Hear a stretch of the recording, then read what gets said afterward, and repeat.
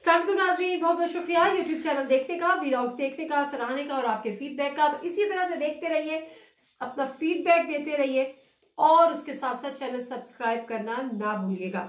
अच्छा कल से अब तक एक शोर मचा हुआ है कि इमरान खान साहब मार्शल लगाना चाहते हैं। आज हमने देखा राना सनाउल्ला साहब की प्रेस कॉन्फ्रेंस उन्होंने यही बात की। मरियम नवाज़ साहबा की प्रेस कॉन्फ्रेंस उन्होंने भी इसी किस्म की बात की। और उससे आगे मरियम साहबा ने कहा, लंदन में बैठकर कि इमरान खान मुल्क से भागना चाहते हैं, फरार होना चाहते हैं और हम उनको फरार होने नहीं देंगे।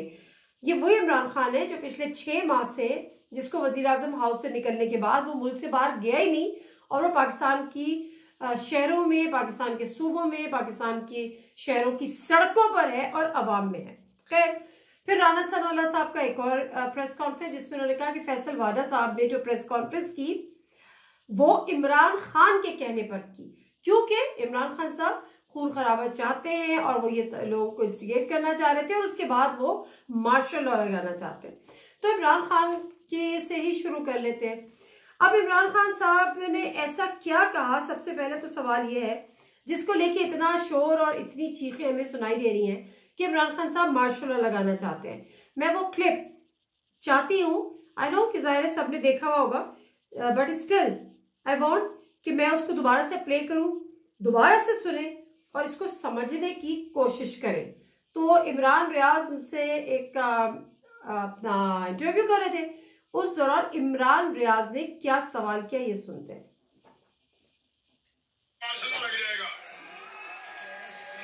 लगा दे मार्शल। लगाना तो लगा दे मुझे क्या डरा रहे लगाना है तो लगा दे। जो हरकतें हो रही हैं वो मार्शलों में मैं आपको मुशर्रफ के मार्शलों में ये नहीं हो रहा था जो अब हो रहा है। जिस तरह की ये पता आज़म स्वाति को आज़म स्वाति ठीक है?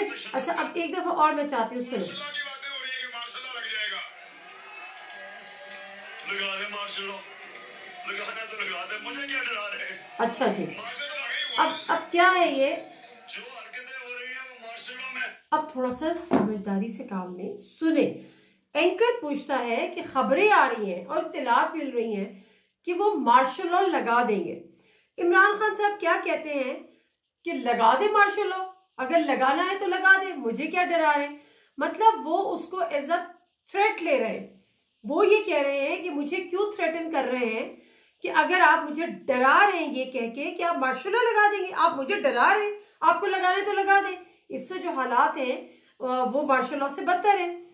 मुशर्रफ साहब के दौर में प्राइवेट चैनल्स को प्लेट खोला गया। आ, एक जो आज़ादी सहाफत परवान चढ़ी प्राइवेट चैनल्स खुले और उसके बाद मुशर्रफ साहब के खिलाफ पूरी एक कैंपेन चली और तब से अब तक तो ये क्रेडिट मुशर्रफ साहब को जाता है। उस वक्त जबानें खोली गई आज जबानों को बंद किया जा रहा है। तो उन्होंने ये बात की कि अगर आप लगाना चाहते हो तो आप लगा दें, मुझे डरा क्यों रहे अच्छा खान साहब मार्शल लॉ से डरते हैं। सवाल ये है कि आज मार्शल लॉ लग जाता है, उसका बेनिफिशरी कौन होगा? हर अमल पे, हर चीज़ पे, हर इवेंट पे उसका बेनिफिशरी ढूंढा जाता है। क्या अगर खान साहब बेनिफिशरी है इस मार्शल लॉ के? भाई, थोड़ा सा तो खुदा का खौफ करें, थोड़ा सा तो अपने अपने खुद स्टेटमेंट्स को जस्टिफाइड करें। एक वो बंदा जिसको आपने वज़ीर आज़म हाउस से निकाला उसको उसकी मुद्दत उसकी हुकूमत पूरी नहीं चलने दी। वो अवाम में चला गया और वो जब से उस, अच्छा असेंबली से निकल गया वो जब से अब तक जीते चला जा रहा है। वो जिमनी इंतबात जीत रहा है वो सत्रह जुलाई जीत रहा है वो सोलह अक्टूबर जीत रहा है वो कुर्रम एजेंसी का इलेक्शन जीत रहा है और सिर्फ़ इलेक्शन जीत नहीं रहा है उसका जो आ, एक वोट वोट की जो एवरेज होती है, जो एवरेज वोट पड़ते हैं, उसमें कई गुना इजाफा हो रहा है। अगर वो पहले 27 परसेंट के करीब थे, वो 58 परसेंट के करीब है। वो ज़्यादा मार्जिन से जीत रहा है। और वो इन हालात में जीत रहा है कि जबकि वो पार्लियामेंट में वापस भी नहीं जा रहा। वो पार्लियामेंट से बाहर आके खड़ा हो गया है। और सबको पता है कि ये हमारा मुकदमा लेके, हमारा केस जाके पार्लियामेंट नहीं जाएगा। ये फिर रिजाइन कर देगा, फिर ये सीट खाली हो जाएगी। लेकिन अवाम है कि उसको वोट दिए जा रही है, उसको जिताए जा रही है। तमाम सर्वेज ये कह रहे हैं कि इमरान खान साहब इस वक्त मुल्क के पॉपुलर तरीन लीडर हैं और इस पॉपुलैरिटी में उन्होंने तमाम सियासी जमातों को और तमाम सियासी लीडर्स को बहुत पीछे छोड़ दिया है।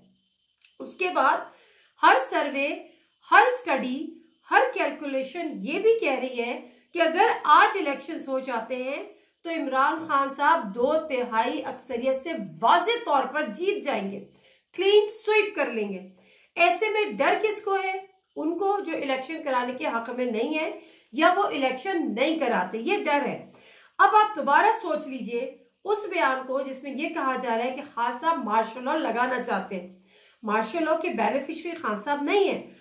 अगर आज फ्री एंड फेयर इलेक्शन हो जाते हैं तो खान साहब ने तो हुकूमत बनानी है। लेकिन मार्शल लॉ किसको सूट करता है? ये बात तो हो गई कि खान साहब को मार्शल लॉ सूट नहीं करता। अब मार्शल लॉ सूट किसको करता है? मार्शल लॉ सूट करता है उन सियासी जमातों को जिनको ये खतरा है कि आज फ्री एंड फेयर इलेक्शन हो जाते हैं तो हम इलेक्शन को जीत नहीं पाएँगे। हम आवाम का गमो गुस्सा है, उसको बर्दाश्त नहीं कर पाएँगे। हमने अभी तक कुछ ऐसा किया ही नहीं जो कि हम जाके अवाम से अपना वोट मांगे और अवाम हमें वोट दे, क्योंकि ये तमाम जो ट्रेंड्स हैं, वो बड़े वाजे हैं कि इमरान खान साहब मोस्ट पॉपुलर लीडर हैं। तो ऐसे में खान साहब पे ये बात करना कि जी वो दस हज़ार बुराइयाँ होंगी, दस हज़ार गलतियाँ होंगी, दस हज़ार चीज़ें होंगी जो वो गलत कर रहे होंगे या उन्होंने गलत की होंगी। लेकिन बात वो करें जो समझ में आए और फिर वो हजम भी हो। मैं दो तीन चीज़ें आज के प्रोग्राम में और आज के जो वीलॉग है, उसमें और करना चाहती हूँ। मेरा एक सवाल इमरान खान साहब से भी है। वो ये कि बहुत अच्छी बात है। हाँ जो बड़ा एक आम सा जुमला है बड़ा लोग उसको दोहरा रहे हैं और टक्कर के लोग मिले हैं कि इमरान खान इस दफ़ा इस्टेब्लिशमेंट को, इसमें कोई राय नहीं है कि इस्टेब्लिशमेंट एक हकीकत है, एक बहुत बड़ा स्टेक होल्डर है इस्टेब्लिशमेंट माजी में भी हमने देखा है कि जिसको चाहती है, वो हुकूमत बनाती है। जिससे नाराज़ हो जाती है, उसकी हुकूमत खत्म हो जाती है। ये तो एक हकीकत है। इसमें तो कोई दो राय नहीं है। अब, इमरान खान साहब हकीकी आज़ादी की एक जंग लड़ रहे हैं। इमरान खान साहब सिविलियन सुप्रीमेसी की बात कर रहे हैं। लेकिन जिनसे, जिनके खिलाफ ये जंग लड़ रहे हैं, ये जिनसे उनकी ये जंग है, हकीकी आज़ादी की, सिविलियन सुप्रीमेसी की उन्हीं के साथ खान साहब मुजाकरात भी कर रहे हैं और इसका बरमला इजहार कर रहे हैं। झूठ नहीं बोल रहे कम अज कम कौम से। छुप के भी नहीं जाते डिग्गी में या गाड़ी में। तो कम अज कम ये क्रेडिट तो खास साहब को दे कि जी वो उसका इजहार भी कर रहे हैं कि हाँ जहाँ जो ये जिसके पास ये पावर है आ, उसके पास मैं जाके मुजाकरात कर रहा हूँ। लेकिन मेरा सवाल ये है कि अगर आज आपके मुजाकरात कामयाब हो जाते हैं आपका one point agenda one point आपकी वन एक ही आपकी डिमांड है कि जी आप फ्री एंड फेयर इलेक्शंस करा दें अगर ये आपके इलेक्शंस का मुतालबा मान लिया जाता है, पाकिस्तान में फ्री एंड फेयर इलेक्शंस का इनका हो जाता है तो क्या खान साहब की हकीकी आज़ादी की जंग यहीं पे ख़त्म हो जाएगी या कॉम्प्रोमाइज शुरू हो जाएँगे?